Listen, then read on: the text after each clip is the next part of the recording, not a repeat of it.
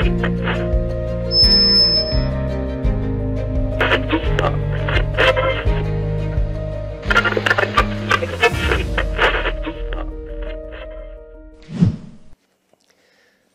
հարգարժան տիկնակ եւ պարոնայք, առաջին լրատվականի ուղիղ եթերում 2024 թվականի առաջին ոդքասթն է կարևորի մասին։ Օգտվելով առիթից ուզում եմ շնորհավորել ձեր բոլորի նոր տարին եւ գալիք սուրբ ծնունդը։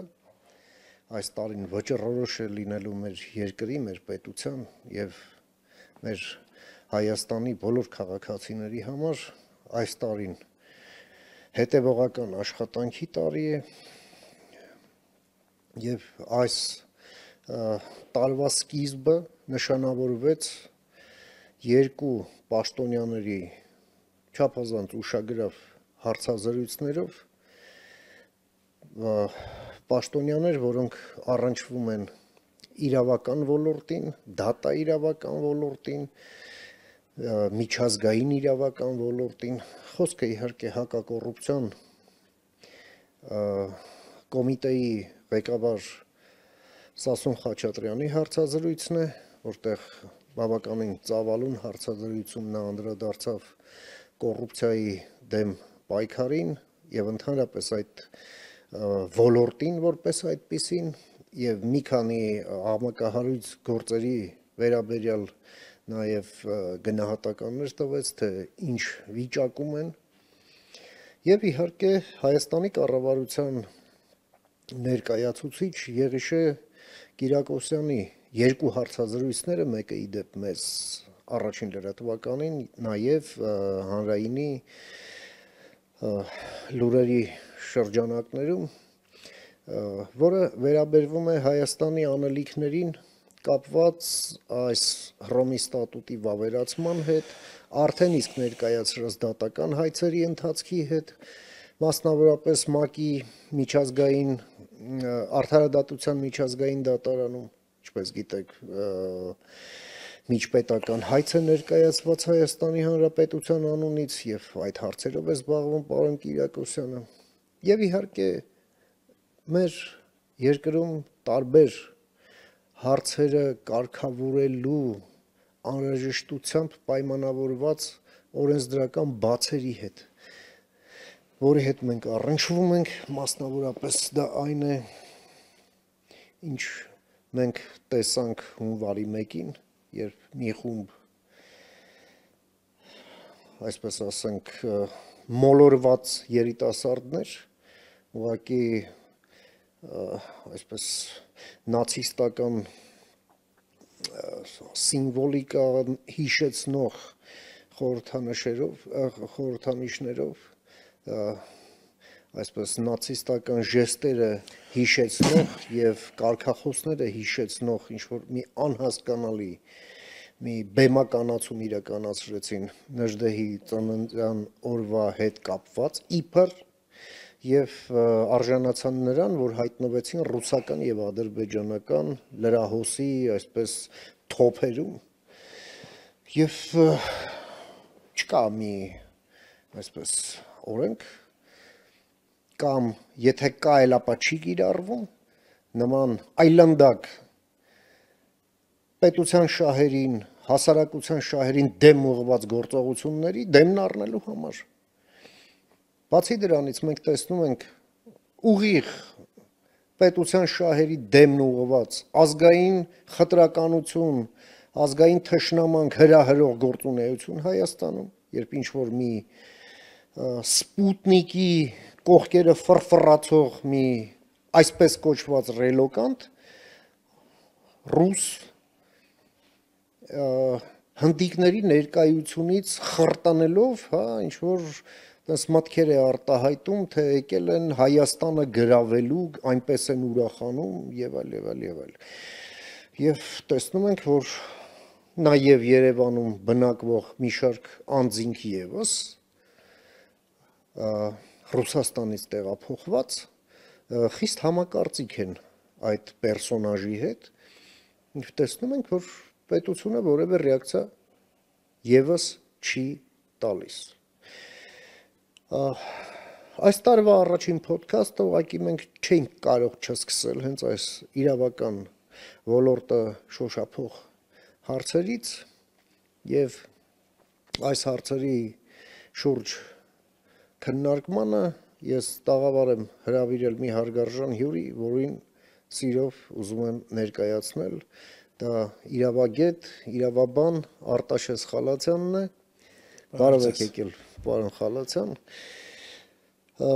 Տեսեք, երբ 18 թվականը նշանավորվեց այդ ոչ բռնի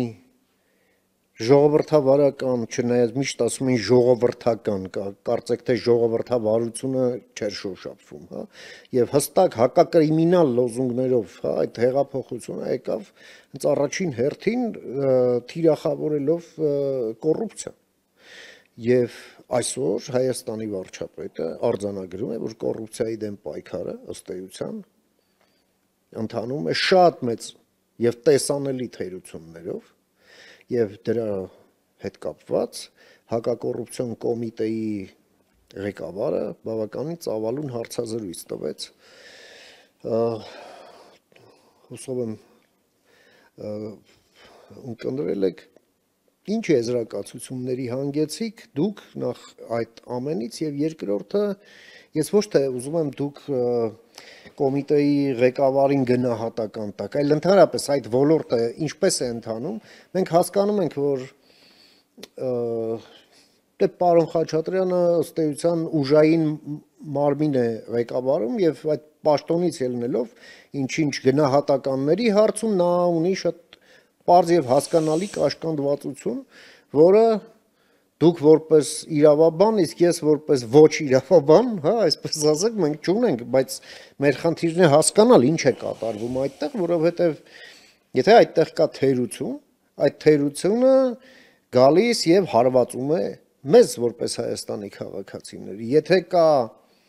առաջընթաց, ապա դրա առաջին շահառուն մենք ենք ի վերջո, չէ՞, դա ինքնանպատակ չի։ Եվ ուրեմն Նախ ցանկանում եմ շնորհավորել բոլորիս ամանորը եւ Սուրբ Ծնունդը եւ ցանկանալ մեր ժողովրդին նախ եւ առաջ խաղաղություն եւ իհարկե երջանկություն եւ բարաբերություն բոլորիս ընտանիքներին։ Ամեն։ Ինչպես դուք ճշտորեն նշեցիք, այո, հակակոռուպցիոն պայքարը ընթանում է բավականին մեծ խութերով եւ դա իհարկե ունի իր օբյեկտիվ պատճառները։ Հեղափոխությունից հետո հեղափոխական իշխանությունը կանգնած էր երկընտրանքի առաջ, այսինքն գնալ կոշտ քաղաքական միջոցների, վեթինգի, լյուստրացիայի եւ այլն, այսինքն մակրած զտման պետական համակարգի եւ երկրորդը դա ուրեմն նախքին համակարգի սեգմենտների կոոպտացիայի մոտեցումներ համակեցության, եթե կուզեք, որը ավելի շատ նմանվում է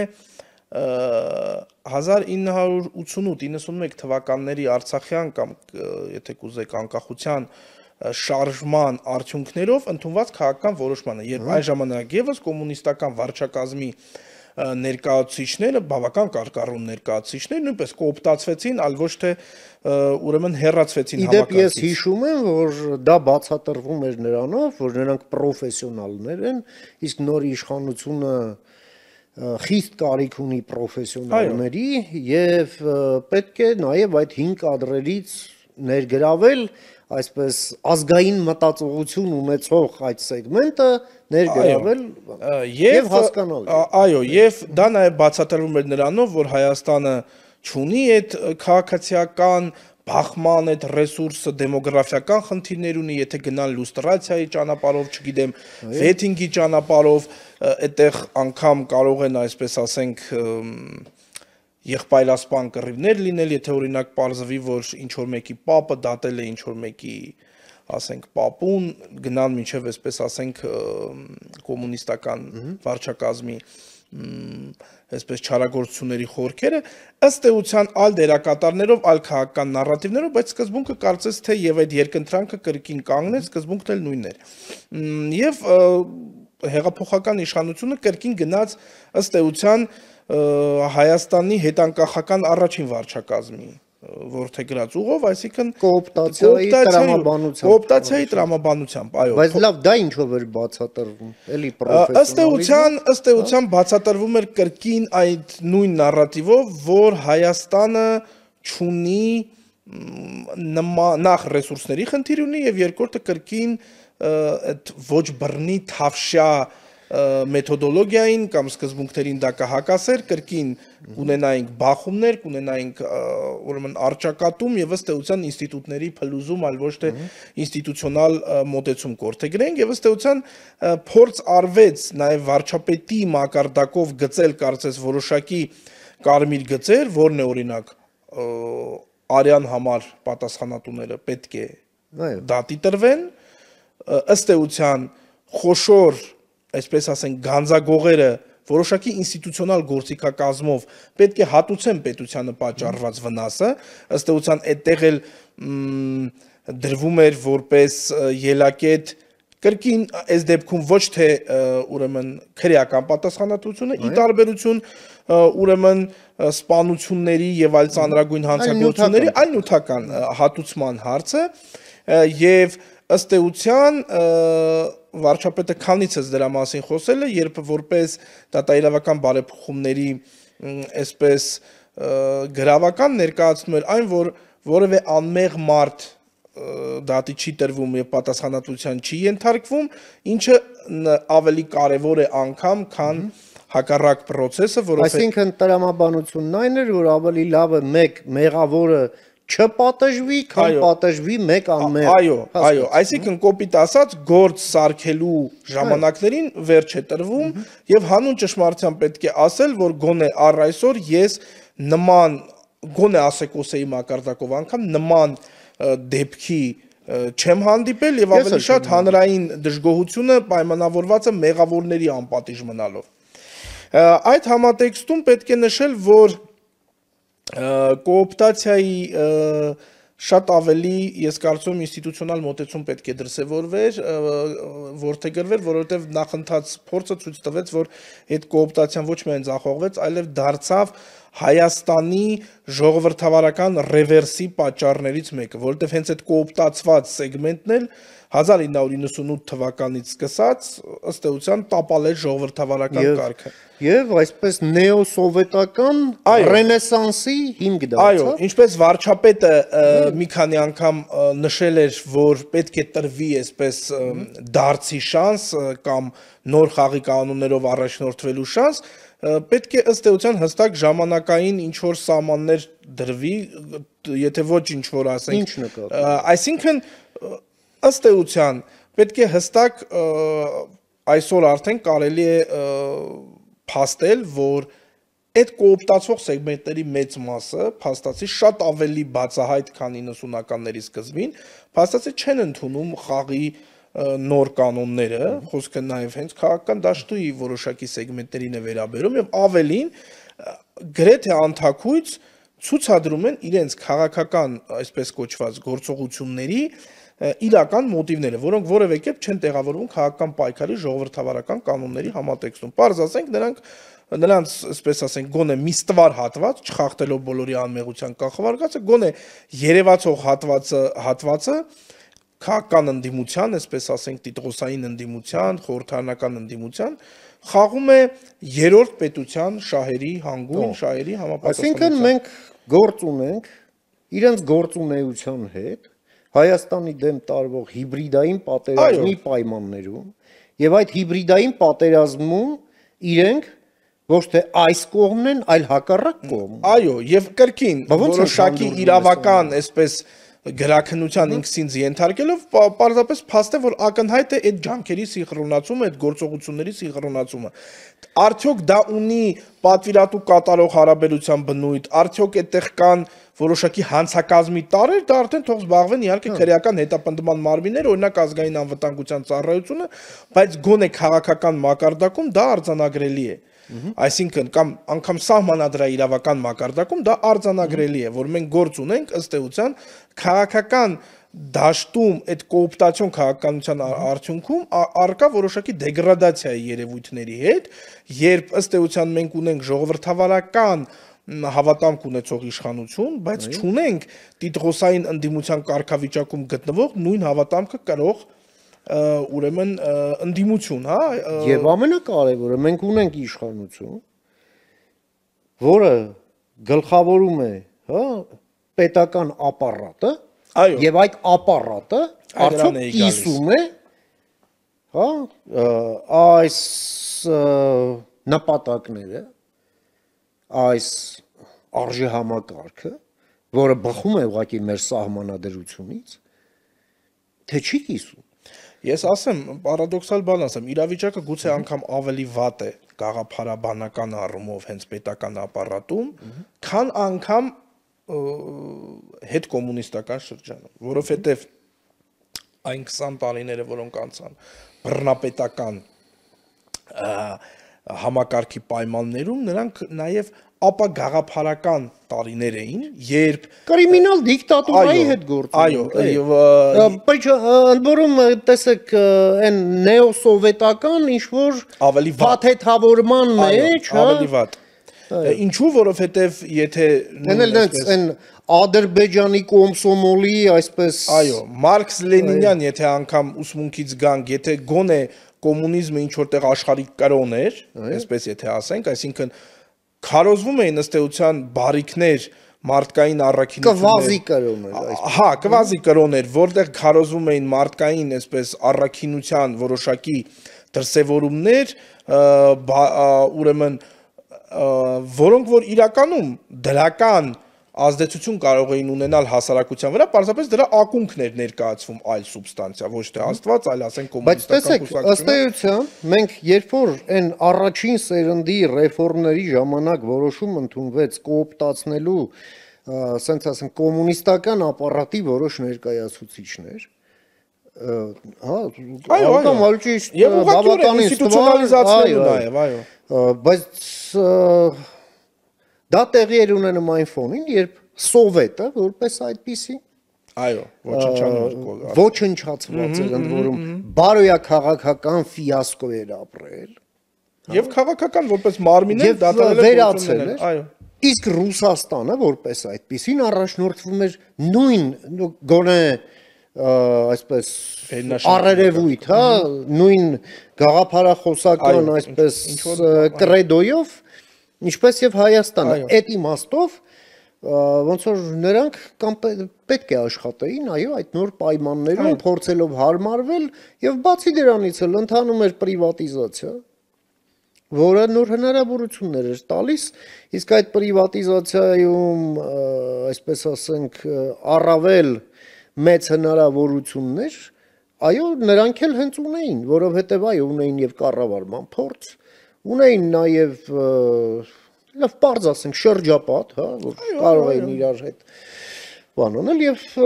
Նեպոտիզմ, այսպես կումավստվո եւ մնացած նաեւ Այդ նման ամենը բաներ։ այդ ամենը կար։ Այդ ամենը հասկանալի էր, չեմ ասում լավ էր, վատ էր։ Հիմա ես չեմ հասկանում։ Ասենք այս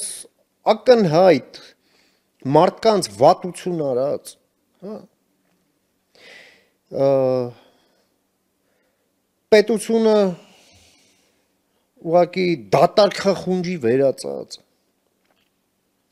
կասկածելի պրոֆեսիոնալիզմով ինչ որ մի անհասկանալի մի կոնգլոմերատ, որը ուղղակի պարազիտացած է հարկատուների հաշվին։ Ըստ էության, այո, Ես չեմ հասկանում այս կոոպտացիայի այն գաղափարական հիմքը ո՞րն է, բացի այն ինչ որ այն նաիվ, չգիտեմ, սիրո եւ հանդուրժողականության բաներից, որովհետեւ դուք կարող եք սիրել եւ հանդուրժել ինչ ուզեք եւ որքան ուզեք, նրանք ամեն ինչ անում են ձեր վիզը կտրելու համար։ Ճիշտ է։ Դե գնացեք սիրեք եւ հանդուրժեք։ ըստ էության մենք ունենք հետեւյալ հետեւյալ խնդիրը, ինչպես ես նշեցի, հա, այդ ապա գաղափարացման շրջանում ըստ էության տեղի ունեցավ ոչ միայն ժողովրդավարության փլուզում, այլև տեղի ունեցավ արժեքային փլուզում եւ անկում։ Եվ մենք ունենք այսօր, այո, քաղաքական եւ նաեւ որոշակիորեն պետական ապարատում եւ քաղաքական համակարգի որոշակի մասում ծավալած անձինք, որոնք որ ըստ էության ունեն կոռուպցիոն ակնհայտ հակումներ, ավելին կոռուպցիոն մշակույթու մշակույթի շրջանակում ապրելու ավելի քան 20-ամյա փորձ եւ որ ամենակարևորն է թերևս ճունեն պետականության զգացում, հայրենիքի զգացում, այսինքն դա նույնիսկ ավելի վատ է, քան երբ մարդիկ իրենց հայրենիքը համարում են խորհրդային միություն, որովհետև այդ խորհրդային միությունից եկած այդ էտատիստական մոտեցումները թեկուզ այսպես ամբողջատիրական փաթեթավորմամբ կարելի էր տրանսֆորմացնել պետական մտածողության իսկ այ ապա պետական տարերին կոռուպցիոն մտածելակերպով եւ ապա գաղափարական սեգմենտին շատ դժվար է բերել ինչ որ գաղափարախոսության դաշտ։ Այդ մարդիկ ընդհանրապես ոչ մի գաղափարախոսություն, հենց գաղափարախոսությունը փողն է, մամոնան է, իսկ ավելի վատ տարբերակով նաև դրա հետ փոխկապակցված որոշակի, այսպես վնասարարական հստակ պլանի կատարում։ Եվ այստեղ իհարկե մենք տեսնում ենք, բայց պետք է նշել հետեւյալը, եթե 90-ականների սկզբին օբյեկտիվ նաև հանգամանքներից ելնելով այդ խորքային խորթային միության, եթե կարող ենք ասել խորքային պետությունը ուներ վերակազմավորվելու խնդիր եւ ընդ որում եւ նաեւ այդ պատճառով անցավ ընդհատակ հիմա շամենի շատ ավելի արագ է զարգանում եւ ըստ էության ավելի արագ ենք մենք մոտենում այն թերևս հանգուցային պահին երբ արդեն այն ինչ որ չհաջողվեց անել 98 թվականին, քանի որ ընդհատվեց ժողովրդավարական ընթացքը արմատապես եւ 99-ին ընդհանրապես այսպես խորտակվեց այդ համակարգը ժողովրդավարական այսպես դերևս ծխացող չմարած հիմա ըստ էության այդ պահը մոտենում է հանգուցային երբ ակնհայտ է որ նախկին քաղաքական ռեժիմի սեգմենտները, այսպես ասենք, դարձի քննությունը չեն հանձնում մեղմ ասած, եւ ակնհայտ է, որ նրանք աստիճանաբար դիրքավորում են ընդդեմ պետականության կամ նույնիսկ աստիճանաբար էլ չէ, լավ էլ այսպես օպերատիվ կերպով դիրքավորում են ընդդեմ պետականության։ Եվ թույլ տվեք հավելել ձեզ եւ ոնց տեսնում ենք Ռուսաստանի կողմից մեր դեմ տարվող հիբրիդային պատերազմի պայմաններում նրանք իրենց այդ գործունեությունը տեղավորում են ռուսական տանիքի ներքո։ Այո։ Մենք սրա հետ գործ ունենք։ Ոնց կարելի է սա ուղակի չտեսնել։ Մենք ունենք հիմա դրա հետ կապված բացի քաղաքական հատվածից, որը քաղաքական գործիչների գնահատելիքն է եւ նաեւ քաղաքական իշխանության լուծելի կորակարգային հարցն է, իրավական առումով մենք նույնպես ունենք խնդիրներ։ Օրինակ, քաղաքծառայության համակարգը եւ ընդհանրապես պետական ծառայության համակարգը Հայաստանում հեղափոխությունից հետո խորքային փոփոխություններ չի կրել։ Ինչ Այսինքն մենք էլ նույնն հին տներն ենք, էլի ինչպես ասում են, պետական ապարատը ռեֆորմի չի ենթարկվել։ Ընդ որում, ես ժամանակ չի կրճատվել։ Մենք այսօր տեսնում ենք մեջ շենքեր ինչ որ գերատեսչությունը, որտեղ գիտենք X գերատեսչությունը, որը որտեղ հաստատ գիտենք, կեսը ուղակի ձրիակ է։ Շարիկա գլորում, մակիաժով զբաղվում միայն, հա, Եվ ըստ էության մենք այստեղ ունենք հետեւյալ կոմպետենտությունը խիստ կասկածելի որևէ փոփոխ արհամարանք մարդկանց նկատմամբ հերախոս չեն վերցնում նույնիսկ հա այո հաճախակի քաց ունեն մարդկանց վրա եւ համարում են այդ մենք ենք իրենց պարտք այլ ոչ թե իրենք են մեր հաշվին տուն պահում հասկանում եք ըստ էության այո մենք այստեղ հետեւյալ խնդիրը ունենք որ հանրային ծառայության մասին օրենքում հանրային ծառայությունը նաև որպես քաղաքացիական ծառայություն ավելի ճիշտ ներկայացվում որպես արժանինքահեն պետական ծառայության մերիտոկրատիկ այսպես այո նա դա օրենքով է ամրագրված բայց ըստ էության գործող համակարգը սկսած պետական ծառայողների աշխատանքի ընդունելուց եւ նրանց հետագա կարիերայի առումով հա այդ արժանինքահենությունը չի ապահովում ըստ էության գնահատման առումով, այսինքն պետությունը ունի պատշաճ գործիքակազմ այսօր ինստիտուցիոնալ իր հանրային ծառայողներին գնահատելու համար եւ ավելին ասեմ, այստեղ նաեւ մենք ունենք հետեւյալ խնդիրը։ Եթե մենք չունենք անձանց կարիերային աճը օբյեկտիվորեն գնահատելու հնարավորություն, պարադոքսալ է, բայց դրան դրան ի հակառակ մենք նաև շատ բարթացված եւ գործնականում անհնարինի հասցված մի կառուցակարգ ունենք, երբ պարզապես հնարավոր չէ այդ անձանց ազատել աշխատանքից այսինքն այնպես է բարթացված այդ համակարգը որ եթե դրան էլ նաև գումարում ենք բնականաբար անձի դատական պաշտպանության սահմանադրական իրավունքը ըստ էության պետությունը տվյալ դեպքում գործադիր իշխանությունը նախ եւ առաջ մեծ ռիսկի առաջ է կա- կանգնած յուրաքանչյուր կոնկրետ դեպքում դատարանում պարտվելու իր իսկ այսպես ասենք մեղմ ասած ոչ արժանիքահեն աշխատողին թերևս այսինքն ակնհայտ է որ ճշմարիտությունն այն է որ օրինակ տվյալ անձը չի համապատասխանում իր զբաղեցրած պաշտոնին բայց այն ընթացակարգը սկսած նրա ուրեմն հնարավոր կարգապահական զանցանքի վերաբերաբար զեկուցագիր գրելուց եթե դա էթիկայի հետ կապված խնդիր է միջգերատեսչական հանձնաժողով է ձևավորվում խառը կազմով եթե դա աշխատանքային կոնկրետ կարգապահության խախտում է կոնկրետ որոշումը վերջնական կայացնում է նախարարը անգամ եթե կայացնում է որոշում ուրեմն որոշակի, ասենք, նկատողություն, խիստ նկատողություն, հա, կարգապահական տույժի ենթարկելու պետք է 3 անգամ նման իրավիճակ ստեղծվի, 3 տույժ պետք է տրվի, դրանցից որևէ մեկը դատական կարգով չպետք է վերացվի, այդ ամենը պետք է արվի 1 տարվա ընթացքում այսինքն ըստ էության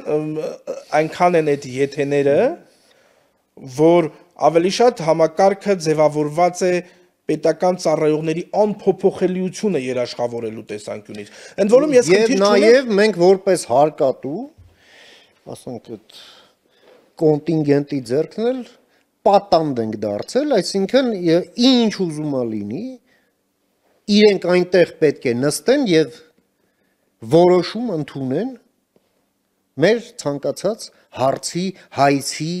մեկի մյուսի դեպքում եւ շարունակեն չպատասխանել մեր հերախոսազանգերին։ Չէ՞։ ես ավելին ասեմ Անկախ նրանից թե ով է, չգիտեմ, վարչապետ, նախարար, փոխնախարար, չէ՞։ այո եւ ավելին Իրենք ասեմ պետք է այնտեղ նստեն։ Շատ բարձր- Եվ պետք է իմ ու ձեր հաշվին փող ստանան, վերջ։ մի պարադոքսալ Ու դուք բան- իրավունք չունեք իրեն ասեք դուք լավ չեք աշխատում, ես ձեզ պետքա հանեմ։ Այո, եւ ընդ որում այստեղ պետք է մի բան էլ նշել, որ մենք ամենևին չենք ջատագովում պետական ծառայության այդ հանրահրճակ միջազգային սկզբունքը, պետական ծառայության անկախության սկզբունքին դեմ չենք ջատագովում, այլ մենք ընդամենը պահանջում ենք հավասարակշռություն պետական ծառայության անկախության եւ ապա քաղաքականացվածության հանրային շահի հանրային միջև։ շահի։ եւ մյուս կողմից նաեւ պետական ծառայողի կոմպետենտության եւ պետության հանդեպ լոյալության հանրային շահի միջոցը պետության Այսինքն ես գնում եմ ընտրությունների, ընտրում եմ մի իշխանության, որը կազմում է կառավարություն, նշանակում է նախարարներ, հետո գալիս է մի հատ նոր ընտրություններ, ասում չէ, իշխանությունը լավը չի, ուրիշին եմ ընտրում, չէ՞։ Բայց ասենք տենց մի միջին վիճակագրական դարմայեդ շարունակում են վերընկած մնալ այդ կաբինետում ու անել նույն բանը, ինչ առաջին իշխանության, երկրորդ իշխանության եւ նաեւ օրենքն իրեն պաշտպանում է, որ երրորդ, չորրորդ, հինգերորդ իշխանության դեպքում ինքը վերընկած մնա այնտեղ։ Տենց որ Դրա այդ համակարգի ձևավորման տրամաբանության հետ կապված ես ժամանակին մի շատ բարձրաստիճան պաշտոնատար անձի իմ լավ բարեկամներից մեկի հետ մի օր զրուցում էի եւ ասացի, գիտեք, ձեզ ավելի հեշտ է գործից հանել, շատ բարձրաստիճան պաշտոնյալ, քան ձեր գլխավորած գերատեսչության պահակին, որովհետեւ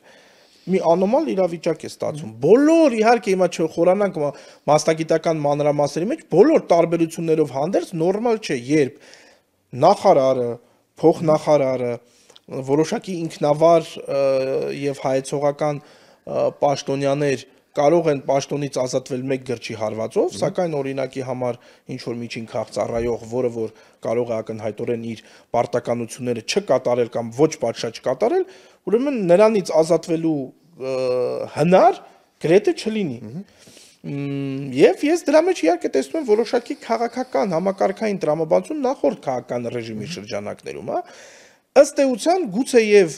հայացքն ուղված դեպի ապագան ձևավորվել էին որոշակի մ, իրավական ինստիտուցիոնալ նախադրյալներ, որպե որ անգամ իշխանության փոփոխության պարագայում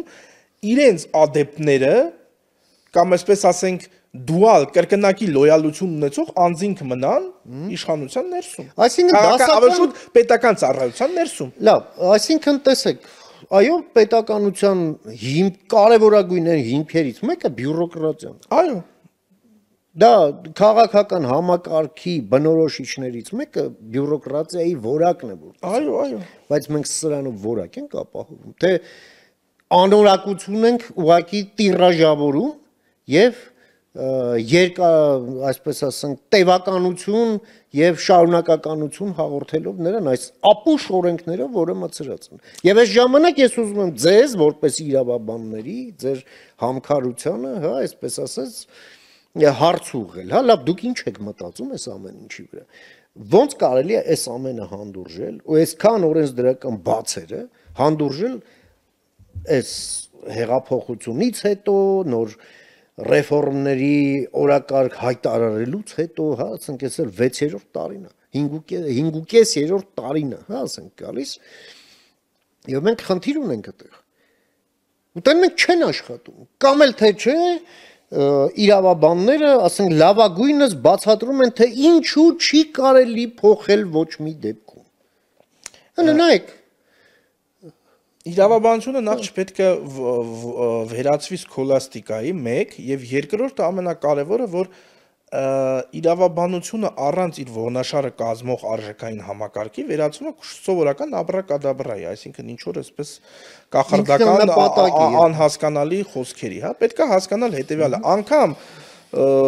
ուրեմն Կայսեր Ֆրիդրիխ II-ը իր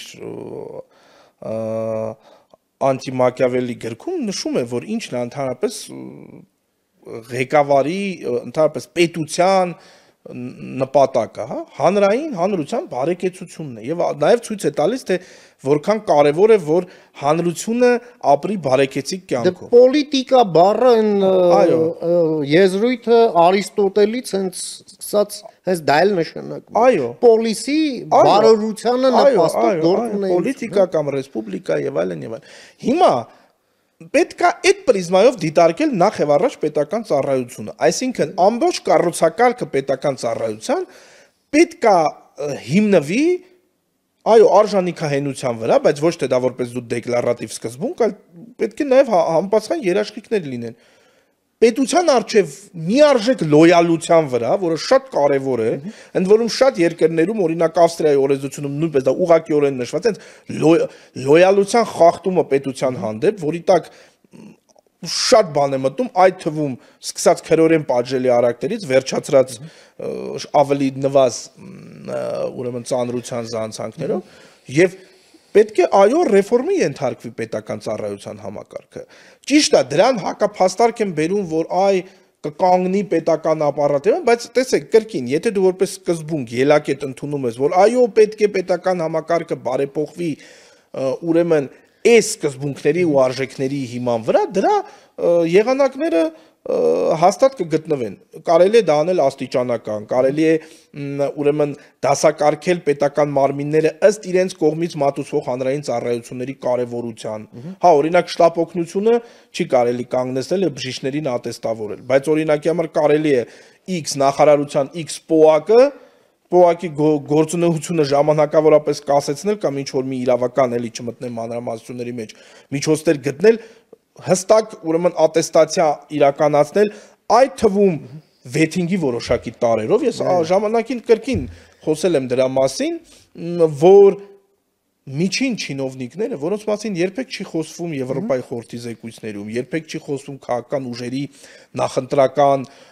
ուրեմն ծրագրերում, որովհետև ըստ էության դա նաև PR տեսանկյունից չի գնահատվում, դա ավելի հեշտ է խոսել նախարարի, վարչապետի, նախագահի մասին։ Երևացող Այո, ֆիգուրների բայց այդ անձինք շատ ավելի կարող են վտանգավոր լինել, որովհետև իրենք կա- կա- կատարում են որոշակի գործողություններ, որոնք հանրային հաշվետվողականության տեսանկյունից տվերում են,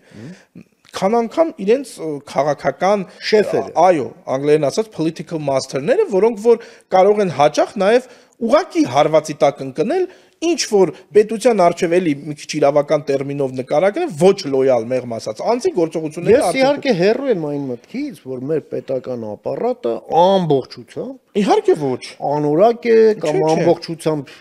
անհոգի սրիկաներ են եւ դա դա դա դա բայց եւ ստատիստիկա էլ չունենք թե որքանն է դրա իրոք որակյալ փաստային է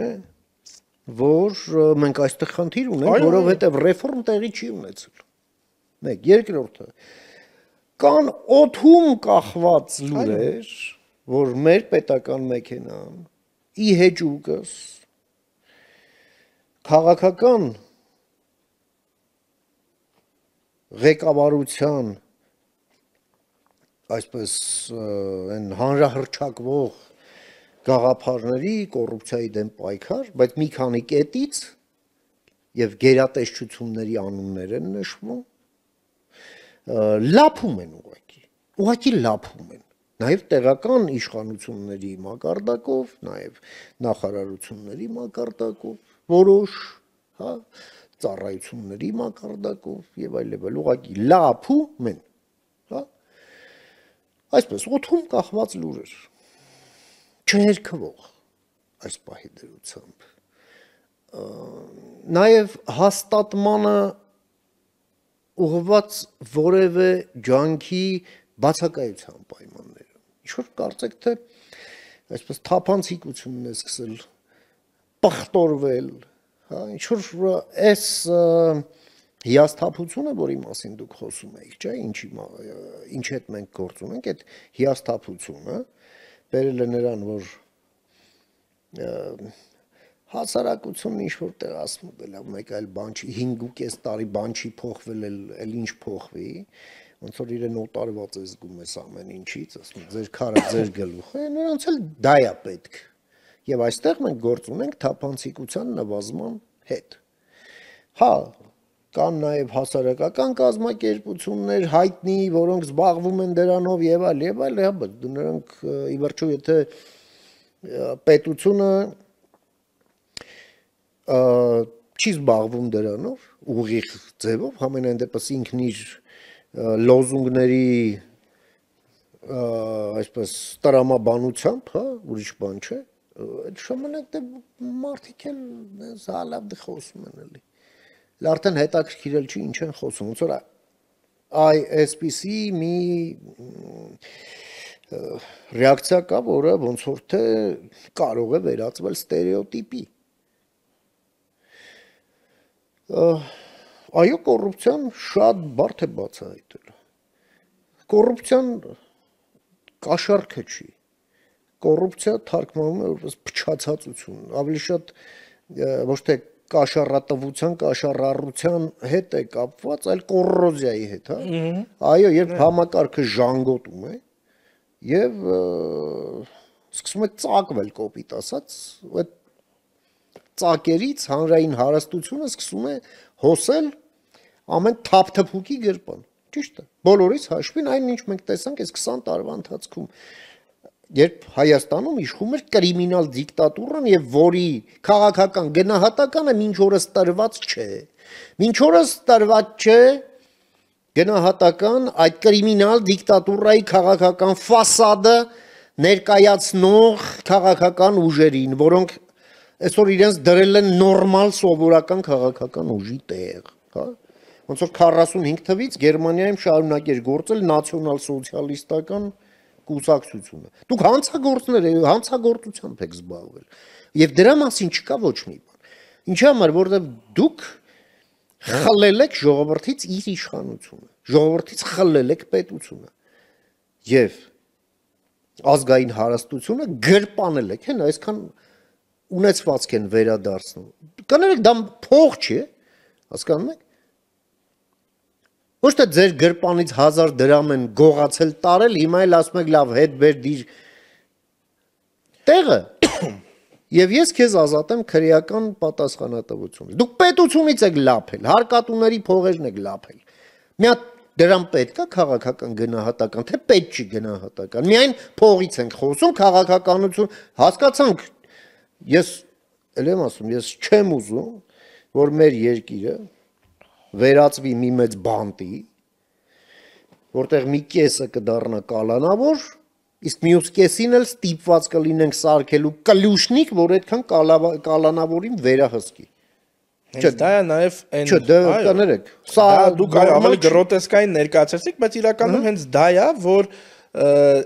այդ մտավախությունը միշտ առաջանում է ը, ուրեմն հետ հեղափոխական շրջանում, որտեղ այսպիսի մի ուրեմն հասկացություն կա իրավական այսպես հոգեբանության մեջ, որ երբ կանոնը խախտողների քանակը հասնում է քրիտիկական չափի, այդ կանոնը դադարում է կանոն լինելուց։ Հիմա երբ համակարգափոխություն է տեղի ունենում, այդ խնդիրը կա, որովհետև մարդիկ ըստ էության ապրել են այլ կանոնագրքով, կոպիտ ասած, եւ հիմա երբ որ դու փոխում ես համակարգը, ստացվում է, որ այո, ֆորմալ իմաստով տասնյակ հազարավոր մարդիկ կարող են համապատասխանել համապատասխանաբար քրեական օրենսգրքի ինչ որ կա նորմերի եւ այո ստացվում է ձեր ասած մոտավորապես ինչ որ այսպես Կավկայի եզրութաբանությամբ կամ ասենք այդ փիլիսոփայության շրջանակներում հա ինչ որ այսպես պետք է անverջ դատավարություններ լինեն եւ անverջ մարդիկ նստեն բայց այստեղ մի բայց կա որ անգամ խավարանը անգամ ներումը պետք է լինի ինստիտուցիոնալ այսինքն մարդը ասենք աստվածաշնչում երբ ասվում է ներման եւ ուրեմն ապաշխարության մասին խոսքը վերաբերում է բավականին լուրջ process-ի մասին այսինքն այդ ներումը պետք է վաստակել իսկ դա նշանակում է նախ եւ առաջ այո Դե չափանիշներում այո թե- որոշակի իրավական չափանիշների ներքո հարցին լուծում տալ։ Ցավոք սրտի այստեղ մի խնդիր կա նաև եվրոպական դատարանը իր նախադեպային իրավունքում այդ մասին խոսել է, որ արտակարգ միջոցները, որոնք որ թույլատրել է իրավաչափ կարող են եվրոպական կոնվենցիայի տեսանկյունից դիտվել հետ հեղափոխական շրջանում, պետք է արվեն հնարավորինս անհապաղ եւ շտաբ ռեժիմում, որքան հեղափոխությունից հետո ժամանակ է անցնում, այնքան ավելի մեծանում է պետության վրա դրվող ապացուցման բեռը հիմնավորելու թե այժմ գործադրվող արտակարգ միջոցները որքանով են արդարացված։ Հիմա տեսեք, շատ լավ։ Եկեք մոտենանք հետեւյալին։ Մենք տեսնում ենք, օրինակ, Մոլդովայում շատ լավ են հասկացել ուղիղ կապը կոռուպցիայի եւ Ռուսաստանի ազդեցության միջև։ Եվ սկսել են ռուսական ալիքները, ռուսական նույնիսկ կայքերը ուղղակի արգելափակել։ Երկրորդը, իրենք հասան նրան, որ Միացյալ Նահանգները ընդունեցին մի սանկցիոն փաթեթ ընդդեմ նրանց, ովքեր մեջբերում են խաթարում են ժողովրդավարությունը Մոլդովայում եւ նպաստում են ը, Ռուսաստանի հետ աֆիլիացված կոռուպցիային մեջբերման ավարտը։ Եվ այո, մի բավականին պատկառելի ցանկ մոլդովացի ինչ-ինչ գործիչների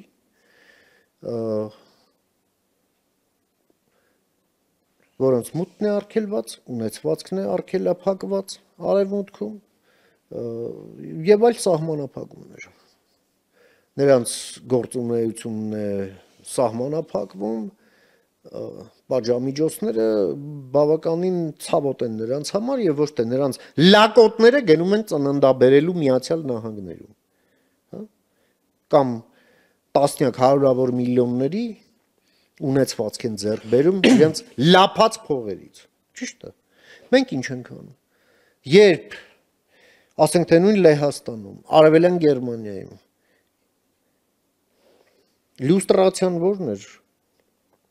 Ինձ հետաքրքիր չի արդեն 37 թվին ով ինչ արել, ինչ չի արել։ Այսօր Ռուսաստանի հատուկ ծառայությունների ագենտները առերևույթ, հա, այսօր պետք է, այո, նրանց քաղաքական իրավունքները սահմանափակվեն։ Այսօրվա գործող ագենտների մասին է խոսքը։ Այ ես այդ մոտապես դրան էի ուզում գալ, որ Տեսեք, մեդիա հնարավորությունները պահպանվում են նրանց։ Շուտ սպուտնիկներ, որոնք նրանց դիետիկ սահմանափակումների են ենթարկվում, հանես մի ամսով նրանց զգուշորեն պինցետով հանգարց շատ չցավա, միջդեռ այդ որջը փագել է պետք։ Հա։ Ինչ որ Ռոսսատրուդնիչեստվաներ, ռուսկի դոմեր եւ այլ եւ այլ, որ- որոնք ուղղակի հավաքագրման կենտրոններ են։ Եվ հիմա նրանք աշխատում են Արցախից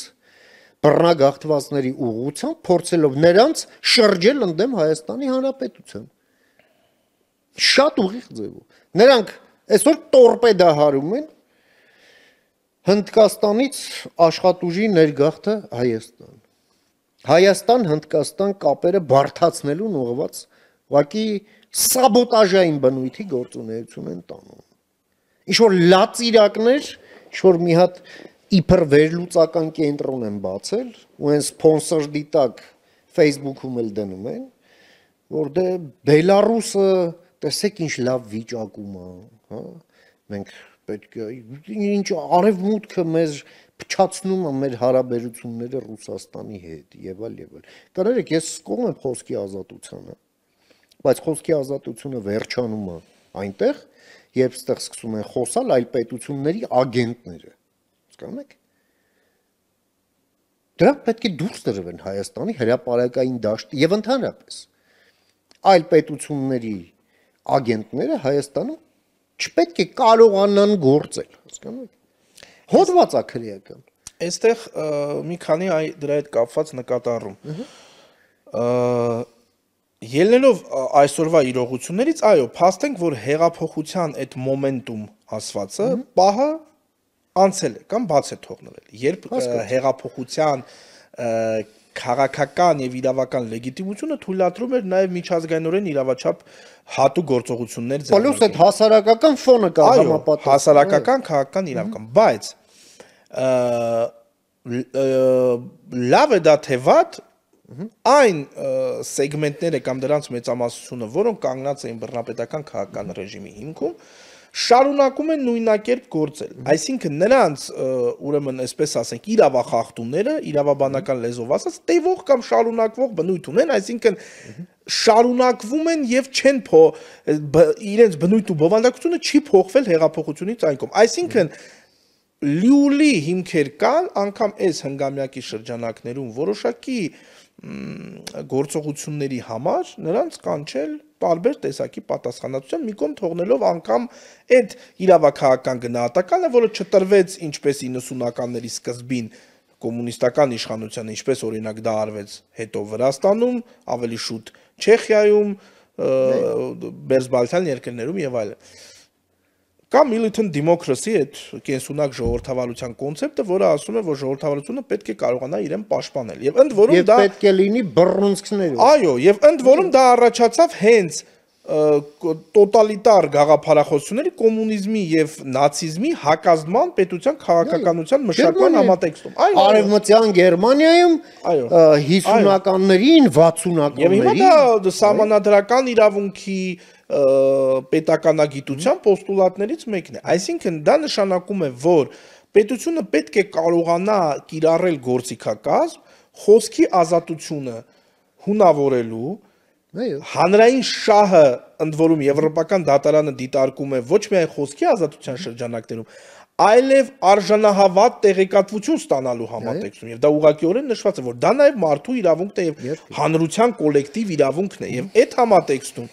շատ կարեւոր է որ เป զի պետությունը կարողանա հստակ գործիքակազմով դրան հակազել։ Ընդ որում այդ գործիքակազմի զգալի մասը կա։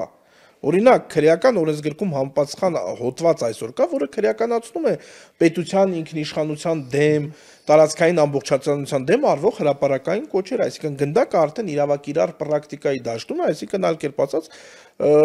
քնչական եւ դատական մարմինների դաշտում է։ դատախազություն Այո, անելիք այ- ըստ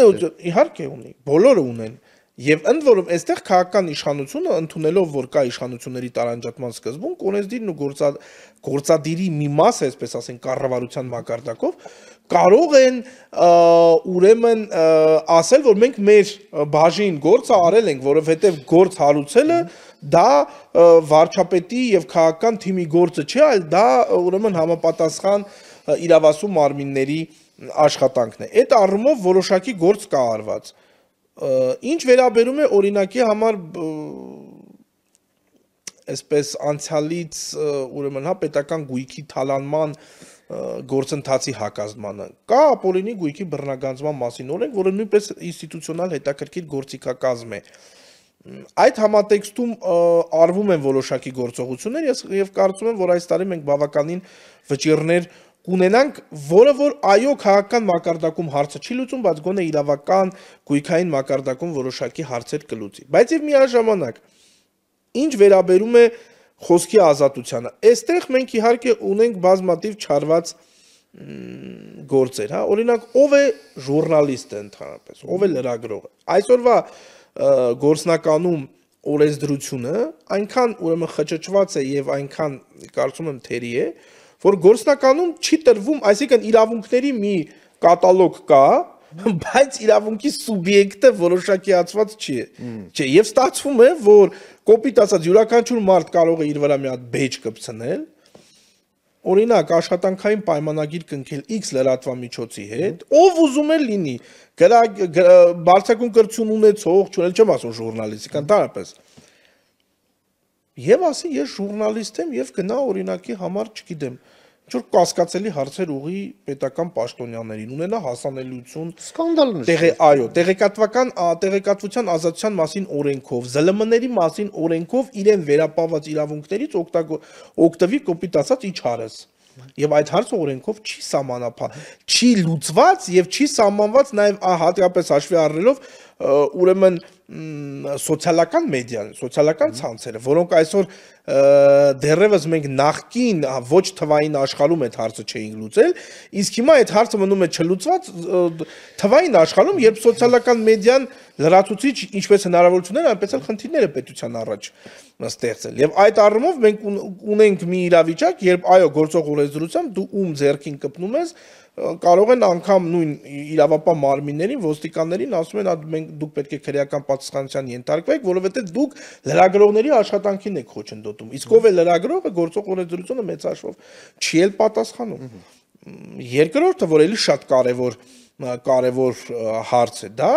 ընդհանրապես լրագրողների համքալության ինքնակառավարման խնդիրն է։ Օրինակ այսօր մենք ունենք, ասենք,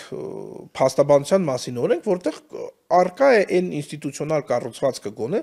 որով փաստաբանները կարող են կոպիտ ասած վերահսկել իրենց համքարության, այսպես ասենք, ուրեմն համապատասխանությունը փաստաբանական համայնքի լավագույն ստանդարտներին։ Մի կողմ թողնենք գործնականում ինչպես է դա արվում, դա այլ հարց է, բայց ինստիտուցիոնալ հենքը կա։ Լրագրողների մասով կա ինչ որ այսպես մարմին կա գործող, բայց որի նախ լիազորությունները խիստ սահմանափակ են, ընդունվող որոշումները ըստ էության իրավական հետևանքներ օրինակ լրատվամիջոցների փակման, չգիտեմ, եւ այլ, այսինքն էթիկայի խախտում կարող են հայտնաբերել, բայց այդ էթիկայի խախտումը հայտնաբերելուց այն կողմ գործընթացը չի գնում։ Այսինքն ստացվում է, որ ոչ եթե լրագրողի հասկացությունը པարզ չէ, པարզը լրագրողական համայնքն էլ չի կարող այսպես կառուցակարգվել։ Շատ լավ։ Եվ ստացվում է, որ մենք ունենք տոտալ անպատասխանատվություն խոսքի ազատության ոլորտում։ Եվ եթե մենք դա դնենք այսպես ռելսերի վրա, կունենանք բավականին լուրջ շոշափելի արդյունք բայց այս սա իհարկե խոսքը վերաբերում է հարցի ինստիտուցիոնալ կողմին բայց գոնե քրեա իրավական մասով գոնե առանձին հարցերով մենք կարող ենք ակնկալել մեր ազգային անվտանգության ծառայությունից, դատաքնչական ընդհանուր ապարատից հատուկ գործողություններ, մի կողմ թողնենք հարցի քաղաքական ասպեկտը, ինստիտուցիոնալ, գոնե մինիմալ Պողոսը, եթե գործակալ է, պետք է դատվի դեռ հարցը ակունքներ, չգիտեմ այդ գործակալների հավաքագրում եւ այլն եւ այլ դա էլ չի արվում ցավոք սրտի։ Եվ այո մենք ունենք այսօր այո մենք ունենք հոդված, որը որ այսօր ես չգիտեմ, կարծում եմ որ կիմանայի, եթե լիներ նման դեպք, որ օրինակ մարդը դատվել ինքնիշխանության դեմ արված կոչերի համար։ Իսկ մենք տեսնում ենք, որ դա այդ կոչերը կան, օրինակ մեկ երկրի ծառայելը ավելի է ուժեղացնում մեր ինքնիշխանությունը, քան 4 երկրի ծառայելը։ Այսինքն մարդը իր պրիզմայով է դիտում էլի ամբողջ աշխարհը, այսինքն բազմավեկտոր արտաքին քաղաքականությունը նա համարում է 4 տիրոջ օրինակ ծառայել, հավելավը մի տիրոջ ծառայել։ Եվ եթե անալիտիկ համապատասխան ունակություններով քննիչներ այդ գործը նայեն, ապա կտեսեն այդտեղ այո լատենտ այդ նույն քարոզ, այսինքն պարտադիր չի որ Դա մանավանդ հայտնի մարդիկ են, այն կոպիրկինի բացած բանի այն պատանի չեկիստների ակումբից էլի, հա, ասենք պայմանական ասած, այդտեղից դրամական բավարարման վրա մինիմալ նստած ինչ որ մի խաժամուշ, որ հիմա էլ վերլուծաբանի տեղը դրել։ Եվ այստեղ եթե կարճ հավելենք, պարզ քարոշչությամբ զբաղված ընդդեմ պետություն։ Նա կարճ եթե հավելենք, ավարտենք այս մասով, պետք է ասել հետեւյալը. մենք ունենք պետության պետությանը լոյալության խնդիր։ Ընդ որում շատ կարևոր է այստեղ արձանագրել, որ պետության այդ լոյալության խնդիր կարող են ունենալ անգամ այն անձինք, որոնք կոչված են հենց բռնելու պետության հանդեպ ոչ լոյալ անձանց, այսինքն մենք այստեղ ունենք համակարգային խնդիր, որը լուծելը այսօր թերևս մեր համար կյանքի մահվան հարց է, որտեղ դրանից է գալիս նաև այն, թե արդյոք մեր արտաքին նոր քաղաքականությունը կունենա հաջողություն, թե ոչ։ Արդյոք մենք պատերազմում հնարավոր, չեմ ասում, հավանական, բայց գոնե հնարավոր պատերազմում կհաղթենք թե ոչ, որովհետև հաղթելը դա միայն զենքը չէ եւ գուցե նաեւ ամենևին միայն զենքը չէ, այլ նաեւ այն բեքգրաունդը, որը սпасարկում է այդ զենքին։ Մենք մտնում ենք մեր քննարկման վերջաբանին անցյալ տարի հենց 22-ի դեկտեմբերից սկսած այդ գործընթացը ամբողջականացվեց Հայաստանը վավերացրեց Հռոմի ստատուտը ի հեճուկս հյուսիսից եկող ոռնոցների ինչ է սպասվում հա Եղիշե Կիրակոսյանը, որը Հայաստանի կառավարության ներկայացուցիչն է, իհարկե շատ հարցերով նաև կաշկանդված է, նաև հնարավոր դատական process-ների շահերից ելնելով, բայց մենք էլ որպես Հայաստանի քաղաքացիներ ուզում ենք հասկանալ ինչ հերանեկարներ կան այդտեղ։ Լավ, ընդունեցինք ու հիմա ինչ ենք անելու դրա հետ, հա, այսինքն Հագայի միջազգային քրեական դատարան ինչ ենք տանելու մանավանդ երբ մենք վավերացրել ենք որ այդ Հռոմի ստատուտը, հա, որը կանոնադրությունն է այդ դատարանի եւ այդ իրավասությունն ենք մենք ճանաչում Հայաստանի Հանրապետության տարածքում սկսած 21 թվականի մայիսից, այսինքն մենք հետին թվով ենք դա արել։ Ինչ ենք տեսնում, եթե հնարավոր է հակիրճ, որովհետև մեր ը, ժամանակը Ա, սահման է։ Տեսեք, պետք է նշել նախ, որ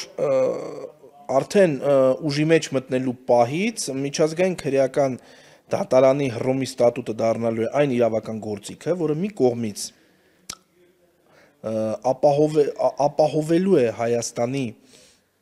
իրավա, իրավական գործիքակազմով ապահովելու է Հայաստանի անվտանգությունը արտաքին ագրեսիայից, որը դրսևորվում է մարդկության դեմ ուղղված հանցագործություններով, պատերազմական հանցագործություններով կամ ցեղասպանական գործողություններով եւ երկրորդը, որի մասին իդեպ քիչ է խոսվում, բայց նույնպես շատ կարևոր հանգամանք է դառնալու է ժողովրդավարական համակարգի համար իրավական պատվար, որովհետեւ բռնապետական համակարգի կամ ը, սահմանադրական կարգի տապալման դրսևորումները կարող են ունենալ նաև մարդկության դեմ ուղղված հանցագործությունների տեսք ցեղասպանական կամ այլ հանցագործնակ ինչպես դա կարող օրինակ Կամբոջայում եւ այլն, հա, կամ դա զուտ իմ մասնավոր կարծիքն է, օրինակ, եթե մենք ը, Հաագայի քրեական դատարանի մասնակից լինեինք մարտի 1-ին տեղի ունեցածը կարող էր գոնե կնության առնվել մարդկության դեմ ուղղված հանցագործությունների շարքում։ բանակ են բերել, բանակը կրակելը, մարդ մեղավորի անուն չկա, հենց Սասուն Խաչատրյանը դրա մասին էր փաստ։ Հիշում եք, որ ժամանակին Հաագայի դատարան դատարան մեղավորներին հանձնելու Ստորագրություն հավաք է հավաքվել, ես ստորագրել եմ դրա։ Ընդ որում դրա միակ տարբերակը այն էր, որ եթե դու կողմ չես Հաագայի քրեական դատարանի, անվտանգության խորհուրդը կարող է հարցը ուղարկել քրեական դատարան, բայց այդտեղ իհարկե գիտենք, որ նախ Հայաստանի քաղաքական քաշը պետք է լիներ այդպեսին, Հայաստանում տեղի ունեցողի քաղաքական ռեզոնանսը պետք է լիներ այդ աստիճան ուժգին եւ այո երրորդը որ բոլոր այո այդ վետոյի համակարգում դա գործնականում անհնար էր սա դառնալու է նաև Հայաստանում ժողովրդավարության անշրջելիության իրավական պատվար ստատուտը երբևէ որևէ իշխանության ձեռքերը կապող սահման լավ իմաստով սահմանափակող գործիք է ինչ վերաբերում է կոնկրետ ուրեմն Ադրբեջանի հետ կապված։ Հագայի քրեական դատարան այսուհետ բողոք կարող է ներկայացնել ցանկացած Հայաստանի Հանրապետության քաղաքացի։ Ընդդեմ ուրեմն տվյալ պարագայում Ադրբեջանի իհարկե ներկայացնելով համապատասխան փաստեր եւ այլն եւ այլն։ Դա գործնականում յուրաքանչյուր քաղաքացու իրավունքն է, բայց པարզ է, որ հաշվի առնելով օբյեկտիվ եւ սուբյեկտիվ մի շարք հանգամանքներ, այդ թվում փաստական տվյալներին տիրապետելու, դա նախ եւ առաջ կարող են անել ուրեմն պաշտոնական շրջանակները, պաշտոնական խողովակներով եւ որ ամենակարևորն է այդտեղ պետք է տվյալ պարագայում ապացուցվի որ Հայաստանի Հանրապետությունը անկարող է սեփական միջոցներով իր արդարադատական համակարգով այդ հարցը լուծել։ Հասնել արդարադատության։ Այո, այո, եւ այստեղ իհարկե այդ անհնարինությունը պայմանավորված է նրանով, որ Ադրբեջանի իշխանությունները պա- պա- պաշտոնատար անձինք Հայաստանի իրավական հասանելիությունից դուրս են եւ Հայաստանը նաեւ իր իրավական համագործակցության գործիքակազմով չի կարող հասնել օրինակի համար, ասենք Իլհամ Ալիևի կամ ասենք Զաքիր Հասանովին արտահանձնելու։ Մ, Եվ այստեղ արդեն Հաագայի քրեական դատարանի գործիքակազմը մեզ համար շատ կարեւոր է։ Ա ը, որպեսզի հա- հարուցվի դատախազի կողմից քրեական դատարանի վարույթ, իսկ դա դա անելը ես կարծում եմ բավականին իրատեսական է, որովհետև մեր քնչական մարմինները յուրաքանչյուր գործնականում դեպքով Ադրբեջանի կողմից ուրեմն թե ջերմուկի դեպքերով, թե սև լճերի դեպքերով այլն հարուցել են արդեն իսկ քրեական գործեր Հայաստանում եւ իրենց հասանելիության շրջանակներում ձև- ձևավորել են ապացուցողական բազա։ Դրան գումարած մարդու իրավունք իրավունքների պաշտպանի զեկույցները, նաեւ հատուկ զեկույցները, իրավապաշտպան կազմը հասարակական եւ միջազգային կազմակերպությունների հավաքած փաստակազմը, այդ թվում այնպիսի գուցե փաստակազմ, որը որ հասկանալի պատճառներով նաև չի հրաապարակայնացվում, այդ թվում նաև գուցե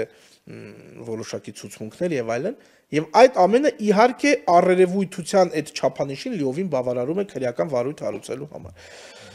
Իհարկե այստեղ կա նաև քաղաքական բաղադրիչը, որը որքան էլ որ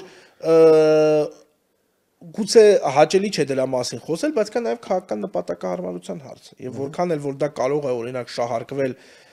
ինչ որ այսպես ընդդիմադիր շրջանակների կողմից, բայց փաստ է որ ընթացող քաղաքական բանակցությունները բանակցություններում այս խաղակարտը պետք է ճիշտ ժամանակին օգտագործել։ Դա էլ պետք է հաշվի առնել այսպես ասենք բոլոր միջոցները սպառելուց հետո այդ թվում իհարկե նաև փոքր ինչ քաղաքական հարց է դա բայց նշեմ որ ես կարծում եմ որ ի վերջո մենք դրան հասնելու ենք որտեղ իրավիճակը կարծես թե տանում է նրան որ իրավական միջոցները պետք է գործադրվեն քանի որ ադրբեջանի ոչ կառուցողական վարկագիծը այլ ելք չի թողնելու եւ դա է նաեւ պատճառներից մեկը որ մենք այո գնացինք այդ քայլին ի հեճուկը Ռուսաստանի դժգոհության որովհետեւ դա է պահանջում մեր պետական շահը եւ ըստ էության եթե մենք գնացինք Խագայի քրեական դատարան Ալիևի վարչակազմի դեմ վարույթ հարուցելու ուղղությամբ մենք այո պետք է պատրաստվենք Ադրբեջանի հետ դիմակայության նոր թեժացման, որովհետև ակնհայտ է, որ այդ Հագայի դատարան բողոքի ներկայացումը եւ վարույթի հալուցումը ես գոնե դա իմ սուբյեկտիվ կարծիքն է, դա բացառելու է Ալիևի հետ այս իշխա ոչ թե Ադրբեջան պետության, այլ Ադրբեջանի այս վարչակազմի հետ որևէ խաղաղության գնալը։ Դա եւ դա նաեւ մեզ ինչ որ առումով նույնպես պետք է մենք հստակ հասկանանք, որ դա մեզ նաեւ որոշակի աշխարհակաղակական դիրքավորում է հաղորդելու,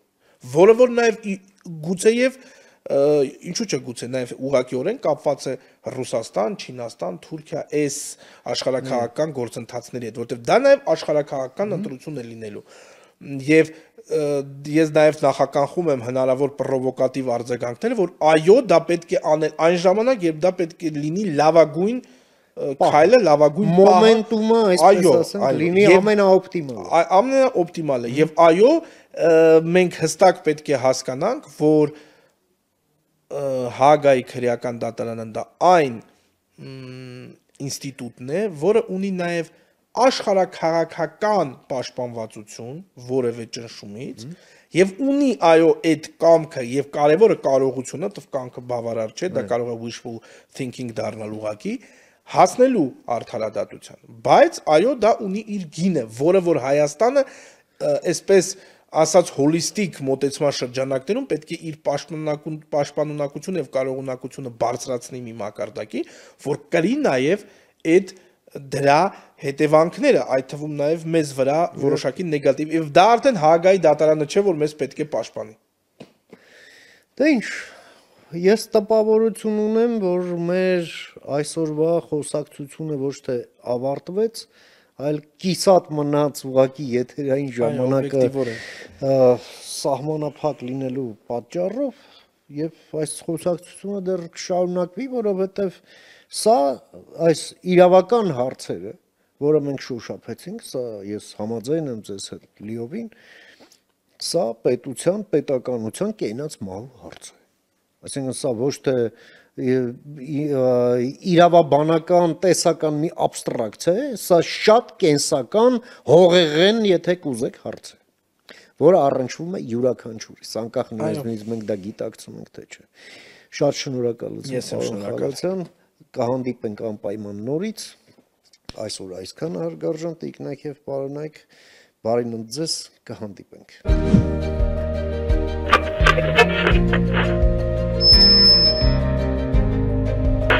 Thank you.